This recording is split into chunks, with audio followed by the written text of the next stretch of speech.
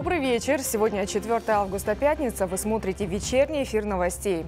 В студии работает Любовь Басхаева, а сурдоперевод Багдаулета Кушбанова. И начнем с новостей наших регионов. Итак, пожар в горной местности Меркенского района Жамбылской области локализовали. Напомню, спасатели продолжают тушение стихии, возникшей накануне из-за возгорания сухой травы на территории Меркенского учреждения по охране лесов и животного мира. С начала тушения силами авиации КАС авиалесохраны на очаге возгорания произвели 18 сбросов воды. Для тушения также задействован один вертолет, передает МЧС. Тушение пожара, по словам специалистов, осложняется специфичным рельефом местности, труднодоступностью и порывистым ветром. Угрозы населенным путам и пострадавших нет. У нас также есть комментарий представителя областного департамента по ЧС и предлагаю послушать. Тушение пожара, который уже двое суток происходит в Меркенском районе, осложнено тем, что, во-первых, это горная местность, во-вторых, препятствует ветер. В настоящее время площадь возгорания превышает 300 гектаров, уже выброшено 27 тонн воды. Всего к тушению привлечено 270 человек и 36 единиц техники. Между тем, в трех регионах Казахстана в августе ожидается сильная засуха. Речь идет о Костанайской, Актюбинской и Козлординской областях.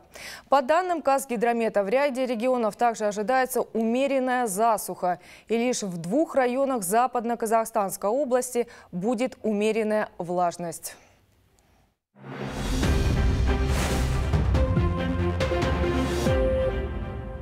А в селе Акшукур Мангостауской области сегодня запустили новую насосную станцию и дополнительные водоснабжения. Проект полностью профинансировала группа компаний Freedom. Отмечу, ранее сообщалось, что в регионе ежесуточно не хватает более 77 тысяч кубометров пресной воды. В июле президент поручал госорганам решить эту наболевшую проблему в кратчайшие сроки.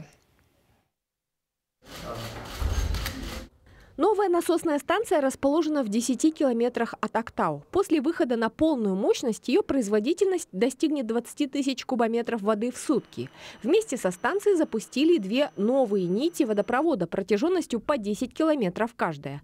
Они соединяют три ключевых объекта – опреснительный завод, станцию и центральный узел водоснабжения. Стоимость проекта превышает 2 миллиарда тенге. Очень радостно, что вот все наши планы, которые мы делали, они сбылись. Водопровод проложен, проложен чуть раньше, чем мы рассчитывали, что нам удалось э, попасть в бюджет, нам удалось действительно сделать все, что мы планировали. И те наши подрядчики, которые э, это, это фактически строили, тоже очень аккуратно исполнили свои обязательства. В октябре прошлого года между компанией Freedom и Акиматом Мангистауской области был заключен меморандум о финансировании данного проекта. Результаты не заставили себя долго ждать. Объекты стопроцентно готовы к подаче воды. Монтажные работы проводили специалисты государственного коммунального предприятия. Строится э, поблизости э, завод по опреснению воды, э, морской воды. И она состоит из четырех этапов. В этом году планируется ввести в эксплуатацию первый этап. Каждый год будем вводить по 5 тысяч и 20 тысяч кубов. Это достаточно объем для того, чтобы полностью покрыть потребности села, сел Ахшкур и Сайн Шапагатова. И оставшийся объем дать э, в город. Доступ к чистой питьевой воде и санитарии – фундаментальное право каждого гражданина, признанное ООН. В этом году Freedom Holding Corporation заявила о своей приверженности принципам глобального договора и целей устойчивого развития Организации Объединенных Наций. Подписав важный документ, представители компании взяли на себя и обязательства по защите прав человека. Поэтому проект, реализованный Мангистау, это очередной вклад холдинга в достижение глобальных задач. Гера Тигжанова, Берег Султанов, Жибек Жола. Десятки школ в Казахстане не готовы к учебному году. К 1 сентября а остается менее месяца. Завершить ремонт не успевает в 68 школах. В профильном ведомстве должны определить так называемые временные места дислокации обучающихся и организовать трансфер для учеников. В Минпросвещении опубликовали даже список регионов-лидеров антирейдинга и возглавляет его Актюбинская область. В этом году в регионе одновременно приводят в порядок 34 учебных учреждений образования, в том числе 23 школы. На капитальный ремонт выделено почти 5 миллиардов тенге. В области строят 20 объектов образования, 6 из них планируют сдать к 1 сентября. Кроме того, в городе строят еще 7 пристроек к основным зданиям, чтобы решить проблему трехсменных школ. шатырлары және мына жылу жүйесі Меняют кровлю, отопление, проводку, обновляют фасад здания. Объем работы большой. Тем не менее, подрядчики делают все возможное, чтобы уложиться в срок. В Саздинской школе учатся 400 детей. Если ремонт не успеют завершить к началу учебного года, детей временно переведут в соседнюю 66-ю школу, расположенную в километре от нее. Продолжаем выпуск. Электросамокаты признали транспортным средством. С 30 августа в силу вступают новые правила дорожного движения. Для набирающего популярность двухколесного транспорта предусмотрели места передвижения и штрафы. Как будут внедряться новые правила, что по этому поводу думают эксперты и как восприняли казахстанцы данную новость, выясняла моя коллега Айша Усимбекова. Этот на вид безобидный транспорт все чаще становится участником ДТП. Решить проблему хотят с помощью внесенных изменений в правила дорожного движения. Согласно новым требованиям, исключается поездка двух людей на одном самокате, а также перевозка каких-либо вещей. А нарушители начнут уже штрафовать с конца августа. Давайте выясним, что казахстанцы думают по этому поводу.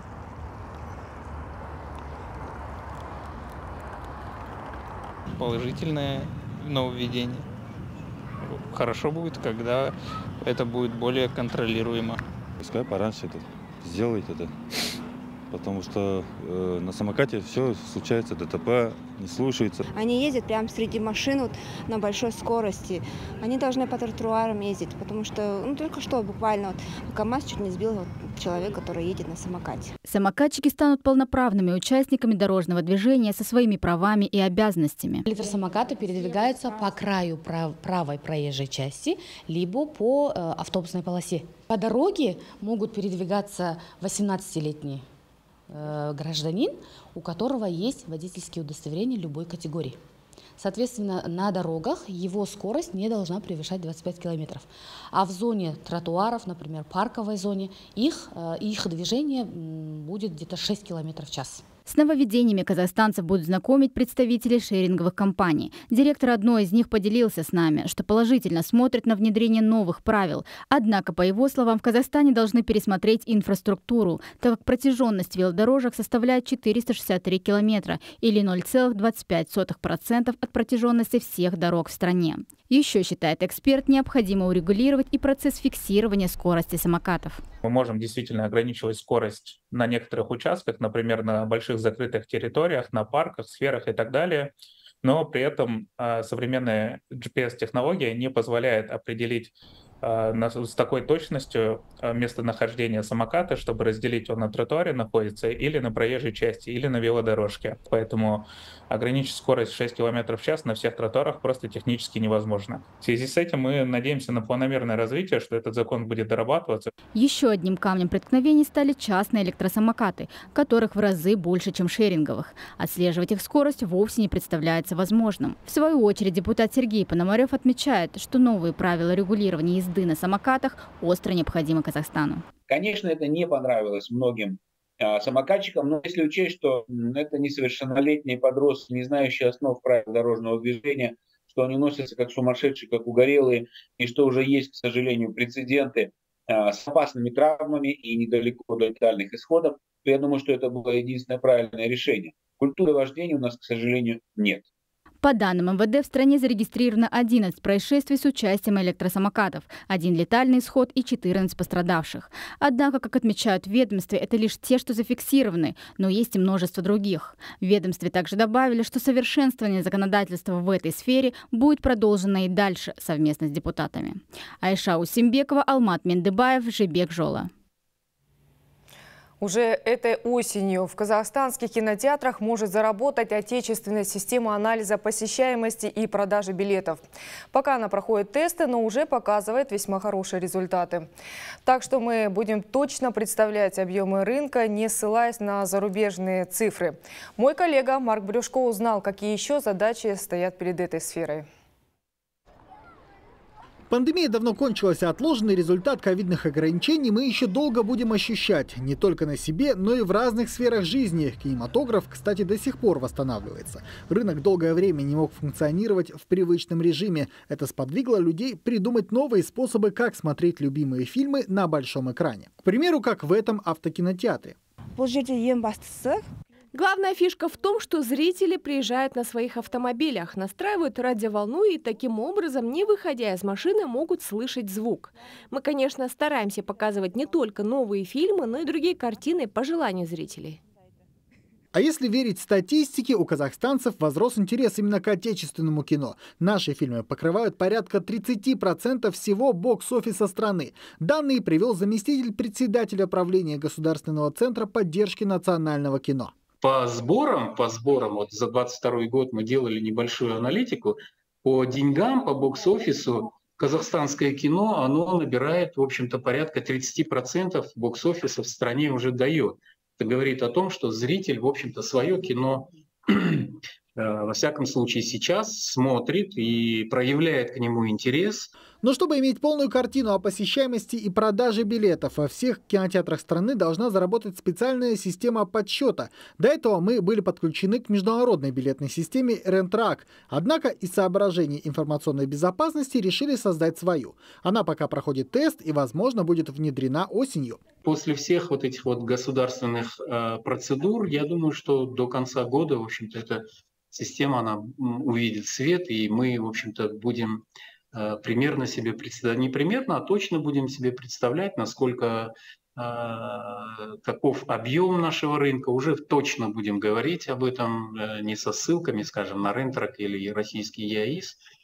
Вот. Так что здесь перспективы, я так думаю, что они достаточно хорошие, хорошие. Вот. И программа интересная, очень такая информативная, вот, и кинотеатры, и дистрибьюторы восприняли этот момент с пониманием о том, что это нужно э, и для индустрии, и для страны. Лето – сезон голливудских блокбастеров. Кинопрокат взорвал феномен Барби-геймера. Картины отечественного производства обычно массово стартуют в прокате с наступлением сентября.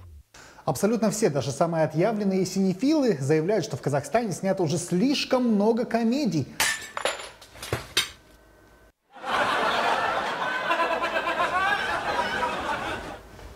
Ну или почему, к примеру, нашим кинематографистам не снять хороший фильм ужасов? Могут ведь. А почему бы не взять и не придумать какое-нибудь приключенческое роуд-муви?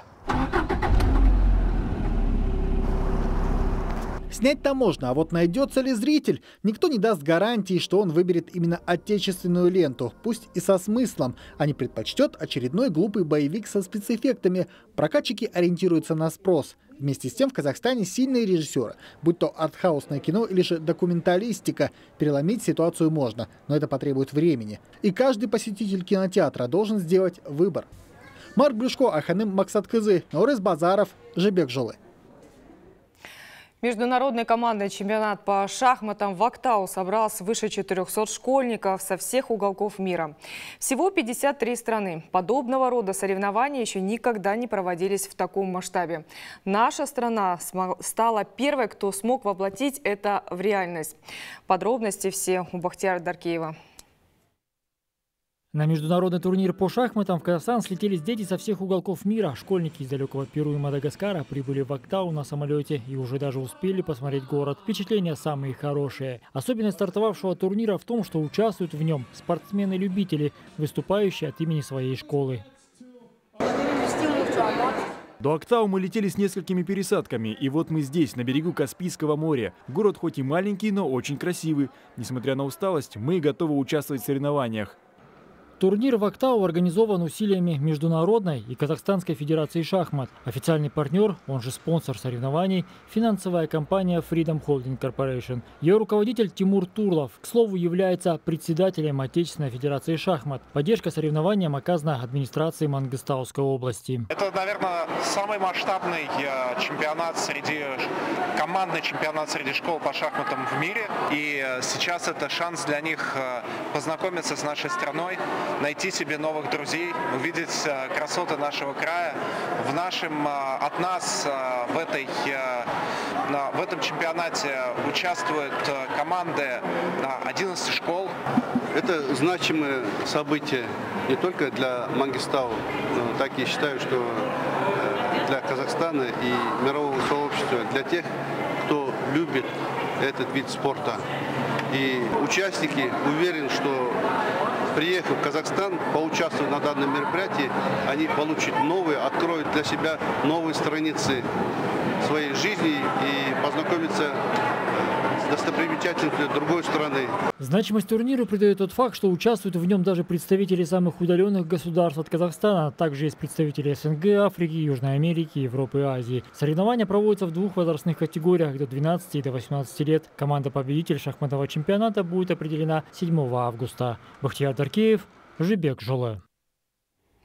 Это были ключевые новости пятницы. Увидимся с вами уже в понедельник. Я передаю слово коллегам информационно-аналитической программы «Жана Уакат». Жансая Кейжарек Сёс Үзинде.